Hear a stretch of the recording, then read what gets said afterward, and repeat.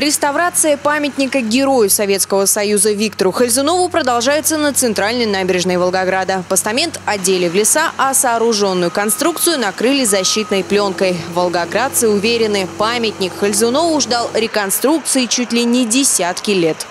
Давно он не реставрировал с самого начала. И вот теперь, я не знаю, какими божьими, наверное, промыслами или, или чем.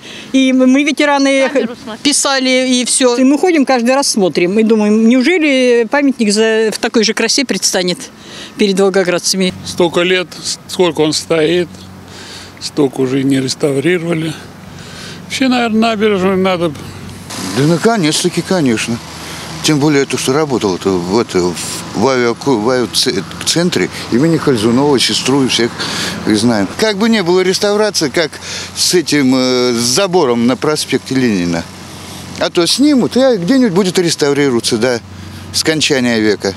Однако памятник уже подвергался реконструкции несколько лет назад. Итог тех работ далек от идеала, заявляет руководитель проекта нынешней реконструкции. Ноги э, генералов в достаточно плохом состоянии, прогнили конструкции и э, металлические. И э, на самом деле памятник уже стал небезопасный.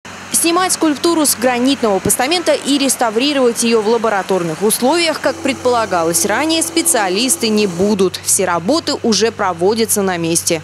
Поскольку в ходе работ скрылось то, что часть памятника, часть скульптуры залита бетоном, в непонятное время, непонятно как, э, э, зачем это делалось, э, на сегодняшний день стронуть данный постамент с своего места не представляется возможным.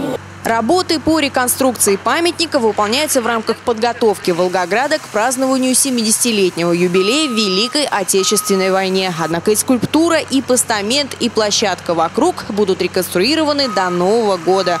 А весной перед самым Днем Победы сквер у памятника Виктору Хальзунову украсят цветами. Анна Рублева, Петр Лукашин, В1.ру.